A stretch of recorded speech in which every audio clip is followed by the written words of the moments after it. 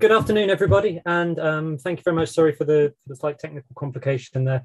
Um, uh, our apologies in that we we had hoped the um, that our, our researcher Mihal Butler would be there in person to present this paper today, but Mihal's unwell at the moment, um, and I found out at 10 o'clock in the morning that I would be having the job of, of giving this paper. So um, what we want to do is tell you a little bit about some ongoing work trying to identify trying to better understand and trying to think about how we manage and deal with hunter-gatherer archaeology high up in the Cairngorm Mountains. And in particular, there's two new and ongoing projects here which we, which we want to introduce to you. The first is a project called Looking Up, which runs from 2021 to 2023 with funding from the Irish Research Council. Um, and this really is focused on how improving the ways we can identify Mesolithic sites and improving the ways we can manage Mesolithic sites in these landscapes. And the second is ongoing excavation work um, funded by, primarily funded by the Society of Antiquaries of Scotland at Sgòr an Eòin, um, a, a, site we've been trying to work at for some time, and it seems to be one of the most cursed archaeological sites in the world. I'll, I'll say something about that in, in due course, but we're, we've started work on that site and we have another really interesting upland Mesolithic site. Just in terms of, of context, and one of the things that's, that, that's driving my interest in this material is a, is a broader uh, reflection on the place of mountains in the Mesolithic of Europe. Europe is in many ways a, a continent defined by mountains. This is um, citations from a, a, survey undertaken on behalf of the EC by a group called Nordregio, and they highlight that mountain municipalities, and these are areas, um, parishes where uh, greater than 50% of the land is a mountain. This covers over 40% of the European landmass, and nearly 20% of the European population live in what can be defined as mountains. So clearly, Europe is a, is a mountainous continent. We know from across Europe that Mesolithic hunter gatherers were using mountain landscapes and they often seem to be using them quite extensively. So if we're to if we're to understand the mesolithic of europe properly we really have to deal with and engage with the mesolithic in mountain environments it's a key part of the story of the period. And I could I could speak about this for, for much, much longer. I'll, I'll, spare you that at the moment, but just that some of these reflections on the on the nature of the Mesolithic of mountain environments in Europe are in an open access paper um, called Mesolithic Montology, where I get to um, talk about Mesolithic archaeology, mountain running, and Nan Shepherd's wonderful writings about the about the Cairngorms. I, I think I described it as having reached peak me um, at one point. Mountains are also enormously dynamic landscapes. It's easy to think of mountains as somehow timeless and stable, but mountains are undergoing change from a whole variety of different processes. This includes climate change, it includes economic development, partly around things like hydro and wind schemes, but actually significant changes in tourism as well. So there are many, many drivers of change. The United Nations Sustainable Development Goal 15.4 is looking at the conservation of mountain ecosystems. And it's interesting to note here that their indicator of success in this is a green cover index. It's effectively keeping the numbers of, of um, forested environments in place in these mountain landscapes. But clearly that in some instances involves planting forests, which again has potentially archaeological implications. These debates play out closer to home as well. And in terms of the Cairngorms itself, we're already seeing the impact of climate change here in terms of snow cover. And that has knock on impacts in terms of tourism, particularly the winter skiing industry, and people then diversifying into new forms of tourism. And the, the excellent book by Andrew Painting, Regeneration, The Rescue of a Wild Land. Um, this is uh, an account of varied rewilding projects within the Cairngorms themselves. Rewilding, again, we could have an enormous discussion around this, but rewilding often involving things like peatland restoration or the regeneration of woodland, again, which has significant archaeological impacts. So you have these mountain landscapes with hunter-gatherer sites in there, you have these dynamic changing landscapes, which raises real issues about how best to manage those landscapes.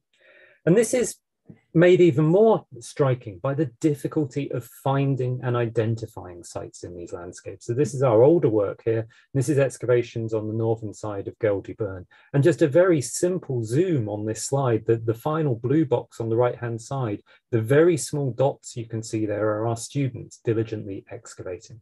This is a tiny site in a really very, very big landscape, which is substantively covered by peat. So actually finding sites is significantly difficult.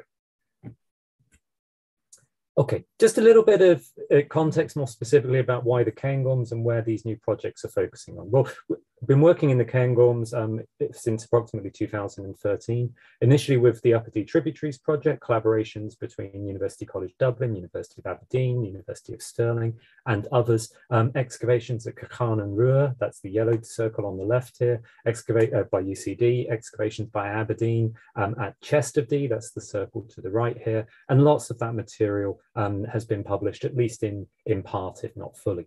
The two projects I'm going to talk about today are shifting the focus um, a little bit. The excavations at Sgòr an Eòin are a little bit further up Glen Dee itself, and looking up really seeks to focus on the high mountains itself, and particularly this summer, work on the Cairngorm Plateau proper. So start with um, looking up. This is funded by IRC Coalesce funding. This is a, a, a, slightly unusual funding stream in that it, it must partner arts, humanities or social sciences with hard sciences. So the, my co-lead on this, Sam Kelly, is from UCD Earth Science. It also, although it funds research, it only funds research where that directly contributes to real world issues and sometimes the development of policy overall. So Sam and I put together a, a proposal to try and better understand the late glacial and early Holocene landscapes of the Cairngorms, to try and find ways of predicting archaeological sites and to make sure that that contributed to better practice in terms of the management and preservation of these landscapes. Um, and the so within the last glacial maximum, when this area was covered by ice, you have no hunter-gatherers present. In the interstadial, 14,000 years ago or so, we have hunter-gatherers further down in the Dee itself, but not known in the Cairngorm at this time. Cold period of the Younger Dryas settlement retreats again, and by the time we get into the Holocene, we have Mesolithic hunter-gatherers on the fringes of the Cairngorms, in the valleys of the Cairngorms, but nothing on the high plateau. So the aims, as I just said, we want to generate this new data about the late glacial and early Holocene heritage in these mountain landscapes. We're going to use archaeological and geological data to construct predictive models, show some of those in just a moment, and use this to contribute to the development of policy for these highland landscapes overall. So First of all, I must thank our project panel. Um, we have a panel comprised of a wide variety of stakeholders and check in with them um, every three months. And that's been absolutely invaluable in terms of this project, in terms of helping really guide and drive the direction that we're taking the project in. And I think the, the meetings we've had have been very, very um, useful, very, very grateful to all the participants in those panels. And I think hopefully there's something quite nice and collaborative in the way that that panel operates and allows people who are there on the ground to help guide the research that we're doing. In terms of the work itself, in, on the glacial side of it, this is Sam. Um, Sam is leading this part of it. We're obtaining new dating samples um, for cosmogenic exposure um, data, beryllium and um, carbon 14 caught up in quartz of all things actually, to get better understandings of the timing of the retreat of ice at the late glacial and the early Holocene. So we get a better sense of when different parts of the landscape were potentially becoming available for settlement. There's a lot of work been done on this in the Cairngorm, but there's still potential for refine, and, and we're drawing on lots of that really high quality work, which has been done before, but we're able to refine aspects of those and hopefully nuance part of that understanding. And these are just one of the sample sites we were working at um, last summer. These are long walks in to get to these places and very rewarding places to, work. One of the one of the great things about this project is we get to spend time in some really, really nice places. As well as providing new dating evidence, um, Alice Doughty at the University of Maine is providing um, numerical quantified models of the spread of ice across the Cairngorms. So she uses a variety of modern climate proxies overall to try and, through an iterative process, try and understand how ice accumulates if you drop temperature or you drop pre precipitation by certain amounts. We're still in the early stages of these, but we'll be tying the results of Alice's models of the um, precipitation and ice overall to the dating that we have to be able to make, hopefully, a really nice dynamic model of changing ice conditions in the area. As well as that, we're using a more traditional archaeological predictive modeling, and this will be integrated with that stuff about the ice um, to, to, to, bring those things together. Um, and we're using a variety of proxy landscapes. We, we don't have enough data in the Cairngorm at the moment to generate robust predictions about where other sites might be. So we're using other landscapes to try and give us a, a sense of this. Um, this will include material from the Alps, it will include material from the Norwegian Highlands. The first ones that Mihal, who's been leading this part of the project, has been working on is taking the North York Moors and the Pennines. We're not saying that these landscapes are the same as the Cairngorms. We're saying that they are upland landscapes in Britain with something of a shared Mesolithic tradition. They are indicating something of the sorts of choices people are making about the use of upland environments. And maybe this gives us a hook to work on in looking in these big, big mountain landscape spaces of the Cairngorms.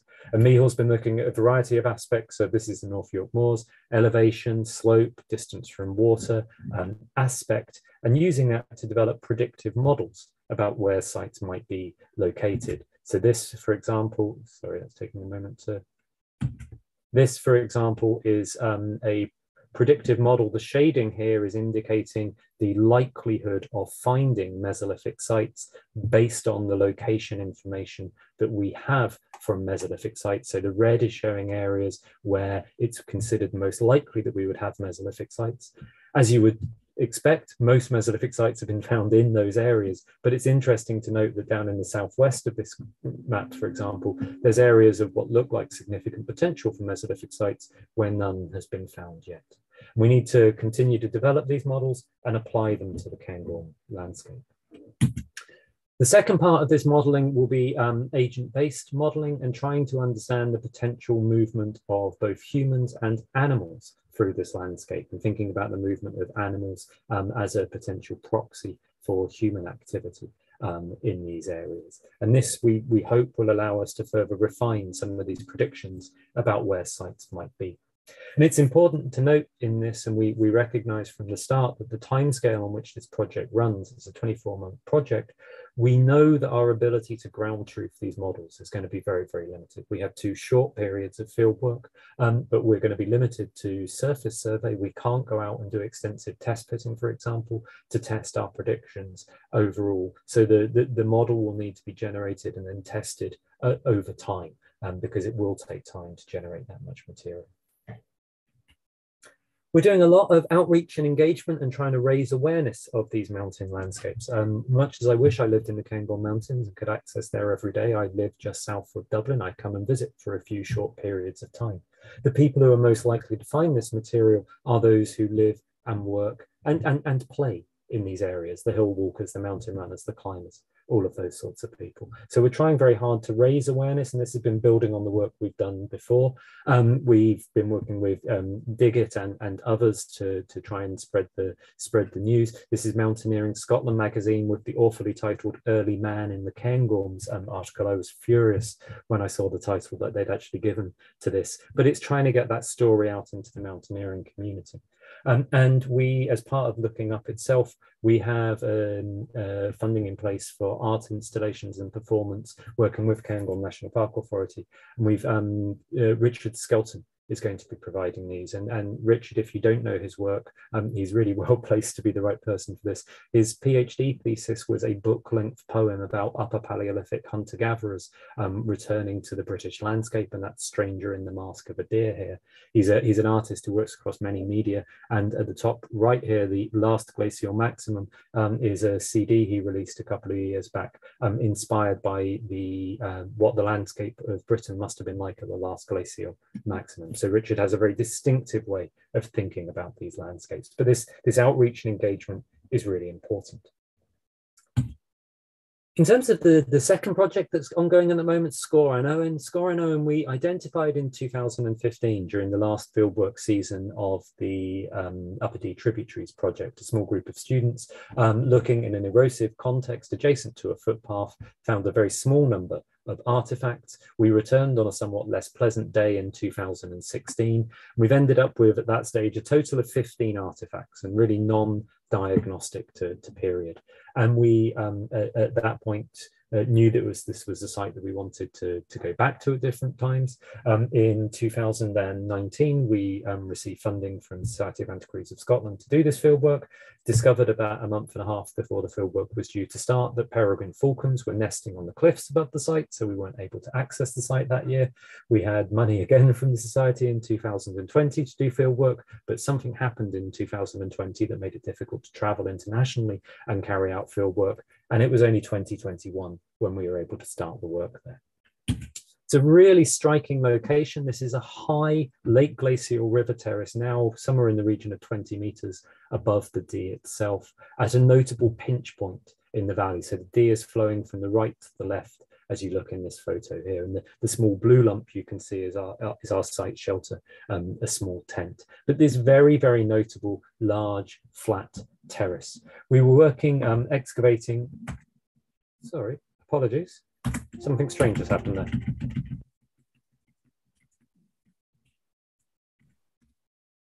Sorry, something. Okay, apologies for that. We were excavating um, test pits this year to try and determine the um, scale and extent of the scatter around this um, erosion caused by this small water watercourse. Excavated approximately 30 test pits in total, a meter by a half meter or a meter by a meter. Very, very um, heavily podzolized soils under a thin peat, which makes identifying features quite challenging, although we did identify what we think is one small pit. We um, identified quite a notable concentration of lithics. The lithic scatter itself is really quite um, tight, most of it coming out from probably only one or two test pits, a few more in the um, erosion overall, but this scatter is probably five meters by five meters at the very most overall. Um, we've now got a total of, I think it's 46 artifacts from the, from the site. So this is again a very low density, tightly clustered um, uh, flint scatter and a couple of pieces, including the one at the bottom left here. Which this is a, it doesn't show brilliantly in the photo, but this is a microburin. So this is um, clearly and diagnostically late Mesolithic. We haven't got any material at this stage we think is suitable for radiocarbon dating. There's a lot of charcoal kicking around in the subsoils here, but none that we've been able to confidently associate with any archaeological features. And clearly Caledonian pine forests will burn on occasion. The intention is to come back um, this September and uh, undertake an open area excavation on the southern side of the watercourse here and see if we can generate, um, see if we can recover more artifactual material, more structural evidence, hopefully, and potentially dating evidence for that. In 2022, then we have um, a, a, couple of reasons to be coming back into the Cairngorms um, itself and doing fieldwork.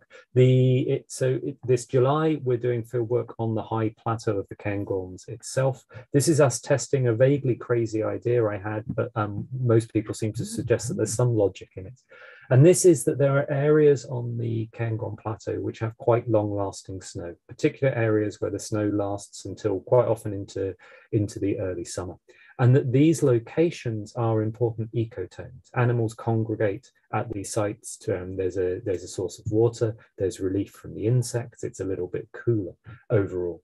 And if you look elsewhere in Scandinavia, for example, these types of ice patches have been very, very important hunting sites. So our hypothesis is that these locations um, exist in the Cairngorms. They should be useful eco zones for animals to congregate, that therefore they may be interesting places for people to go and target for hunting, and that therefore one way of narrowing down the area of search on top of the Cairngorms is to, is to use this as a way of looking for and trying to identify prehistoric activity. And, and if it doesn't work, then we get to spend two weeks walking around the top of the Cairngorms, which isn't such a bad thing to do either. In July 2023, we'll be back for two more weeks of survey trying to test the predictions of the, of the archaeological um, models don't know exactly where that will be at the moment until the models come in with their prediction. And as I say, in September this year, we'll be working at Sgòr an Eòin, um, hopefully collaborating with Meso side. It's worth just emphasizing here, we, we take the landscapes we're working in very seriously. Some of the survey sites we have on the High Plateau are immediately um, adjacent to the site of the 1971 Cairngorm Plateau disaster, the worst mountaineering accident ever to happen in Britain and Ireland. So we've built mountain skills training into our program. So um, myself and Sam have reasonably advanced mountain skills training and we'll have mountain leadership training. All of the students are being asked to undertake mountain skills training and we all have mountain first aid as well. This is the students on their mountain skills training. Uh, you, you may or may not believe this, but there are actually four students in the orange emergency shelter in there. And we're just trying to make sure that if the weather or anything changes up on these hills, we can, we can get everyone back safely because that's far more important than any archaeology that we might identify.